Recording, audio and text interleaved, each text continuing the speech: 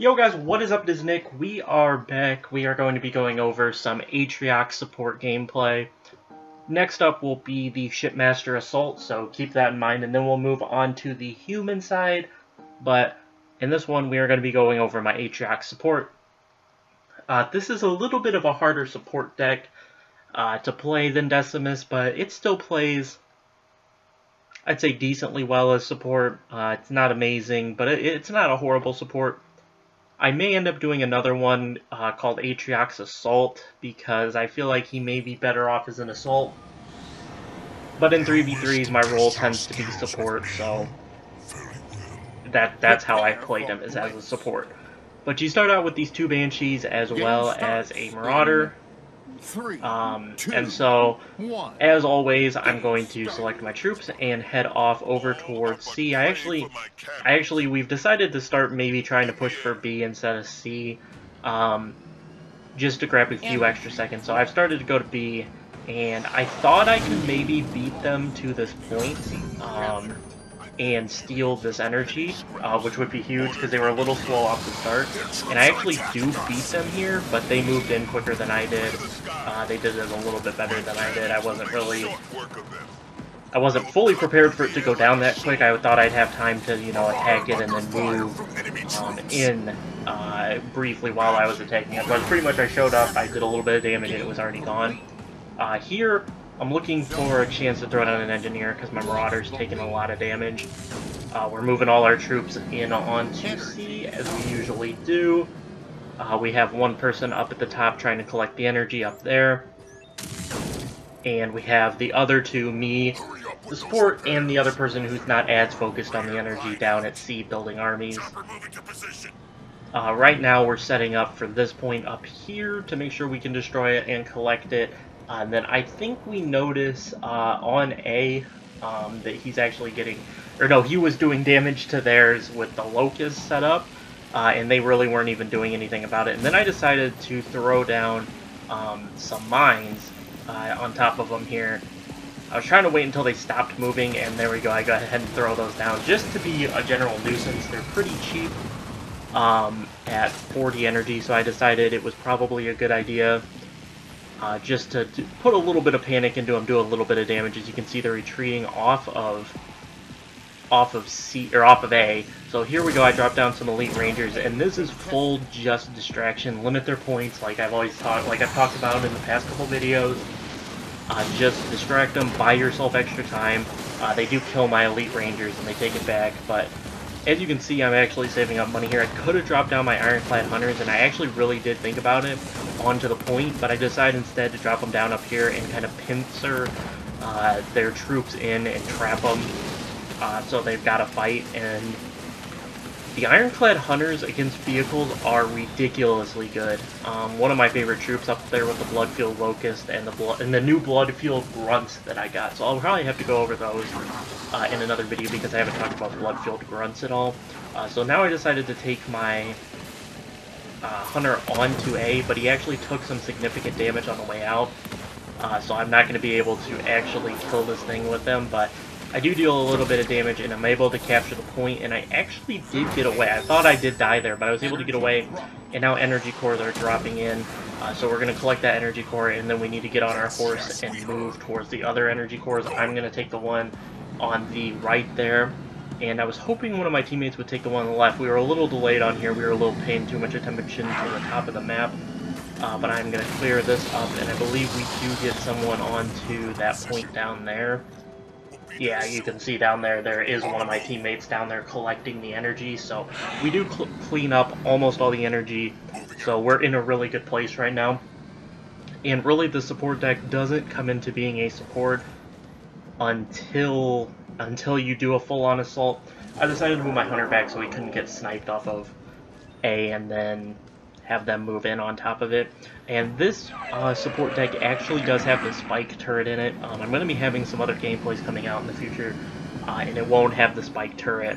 Uh, but like I said, these are just kind of rough gameplays. They're not supposed to depict exactly the deck. Uh, it's just kind of supposed to be a rough gameplay of how I play support with the character. Uh, so I put down uh, the special unit Atriox Chosen, and they actually call in their um, Condor unit, so I'm going to move my, obviously I'm going to move my hero, unit off and get get out of there, and, and we finally get coordinated, we're moving everything off. I had called in my assistants just a little bit too early there, um, because we had a little bit of a mis miscommunication there uh, about whether we wanted to stay and fight it or move out.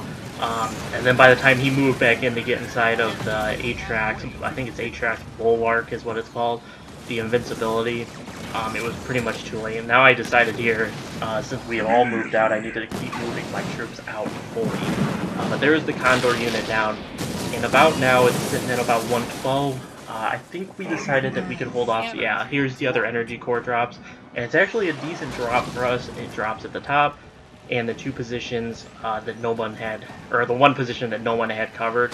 Uh, so I believe I tried to push over there. No, they got it.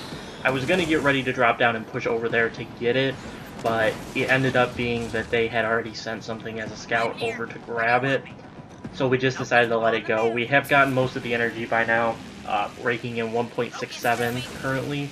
Uh, and so now we push them off of C, or off of A, and I believe here any second now we're going to start our push. Um, you can see those are my troops up there. I'm just trying to be a general annoyance here. That's really just my job until we fully push. Uh, most of my job is scouting and annoyance and uh, buying ourselves time uh, during the general play, and then eventually it becomes uh, the full support role once we have attacked. But you can see I have enough for my Scarab Assault, uh, so sometimes the support role that I play, sometimes it just involves dropping a Scarab Assault down. Um, it can be as simple as that, it can be as complicated as having to time my um, my drops as Decimus, but it can be as simple as timing my Scarab Assault. Um, and, and, and, that's probably the easiest support that I play is when I just have to drop a Scarab Assault. But here's where I drop the turret, and the turret for 90 energy, it's not horrible if you can put it somewhere where it's not just going to get rained right away. But there's my Scarab Assault drop, and you can see I still have a ton of money, and also what comes with me being the support role is holding these points, um, holding the one of the points uh, once they have pushed in with their large armies. You can see, they're coming in on the mini-map. Uh, I have my leader unit, and believe it's one hunter left, then I'm going to move up towards A. You can see I'm just being a general nuisance with my blood-filled locusts up there. And now they're going to move out here. I was, And I put down those uh, mines a little bit too early. I should have waited until they got to the other side, but here's the push. I've pushed in with um, my Atriox Chosen as well as my Hunters. I do still have two Hunters left, and now I'm just dropping things into fight at A, because uh, the triple cap, you gain a little bit more points when you have the triple cap than when you just have the double. So I decided to go ahead and push for A, and there's a Scarab Assault from a teammate to help me clean up A. They had already cleaned up B with the help of my Scarab Assault, and so one of my teammates had enough saved up that he could Scarab Assault A, and we could complete the full triple cap. Uh, one thing that we did poorly here is you can see there are two energies dropped on the map that we completely are ignoring.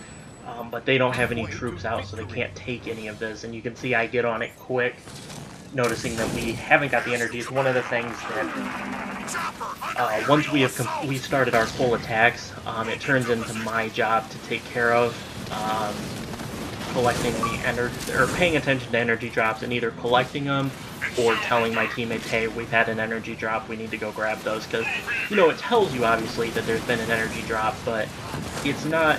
Sometimes if you're in the middle of attacking, it's kind of hard to be like, okay, well, now I gotta go get the energy, so... Since I'm more of a support role, and I have my troops set back, and I'm not moving them in, and I'm really just dropping helpful things that help their either the armies, or slow the enemies, make them invincible, whatever it may be, um, it's my they've made or we've just kind of made it my job to keep track of that and pay attention and know um, and know when um, new energy drops mid attack. And a lot of the times it's my responsibility to go get it. As you saw, I did drop those elite hunters and that chopper to go and attempt to get it. They pushed for the one that my chopper couldn't get because he died, uh, but the elite rangers were able to clean that up. But there is the victory, guys. Um, I believe uh, I may have a couple of packs at the end of this. Um, I've been tr I tried to leave them in just to show you guys a couple of packs. Yeah, we go. There we go. Ranked up to rank five. Um, and completed a daily challenge, so there is a couple of packs opened up here at the end.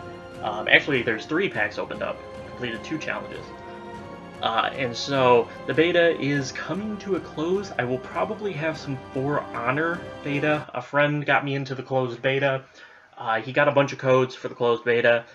And so I'm going to be firing that up either tonight or tomorrow. So hopefully I will have some closed beta for For Honor. Um, I didn't get Resident Evil 7. So I thought I'd bring you guys some of these betas that I'm playing. For Honored and Halo Wars 2. I may be picking up Resident Evil 7. I don't know. I'm not huge into horror games. I'm not really huge into Resident Evil. I like watching people play it, but I'm not really into playing it myself. Now, there is a really good card, the Enduring Blisterback. Uh, one of my favorite cards for Atriox that's not actually in this gameplay because I just unlocked it. And there's the Condor Strike being leveled up to level 2. Uh, a lot of these changes don't go into effect. I don't think I've gotten a whole lot of gameplays past this one. Like, I think rank 5 is about the last time I recorded. I think I'm rank 6 now. I haven't actually been playing that much. I haven't had time. I've had this like huge paper I've needed to write, so once I get that done, uh, tonight I should be able to um, pump out some more videos this weekend for you guys. But here is the last pack, and then we'll wrap this bad boy up, and I will catch you guys in the next one, which will be Shipmaster Assault deck. Now, I may go back and do other variations of the decks that I've already done, but I wanted to get through all six of the heroes uh, before the beta ran out, so um, I won't be going back. There's this Siphon Field, uh, new thing for testing this, as I've shown you guys. Uh, Watchtower for Anders, that's an interesting card. Uh, it does have its uses, but I'm not sure how great it is, and there's Eradication. But guys, that's going to do it for this video. I hope you guys enjoyed. Drop a like if you did, subscribe if you haven't, and I'll catch you guys in the next one. We'll be going over Shipmaster. Peace out, guys.